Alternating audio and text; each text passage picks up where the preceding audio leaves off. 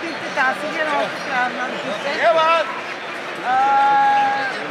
Biz hafif beğendik. Yok, biz değil. Yok ya. Yok, biz de beğendik.